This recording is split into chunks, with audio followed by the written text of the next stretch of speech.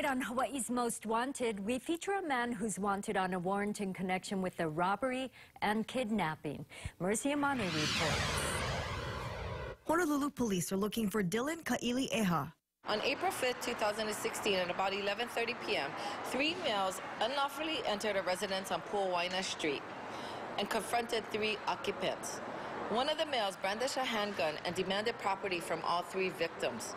Neighbors heard commotion from upstairs and called the police, and upon police arrival, were able to detain two of the males. One of whom was identified as Kailieha.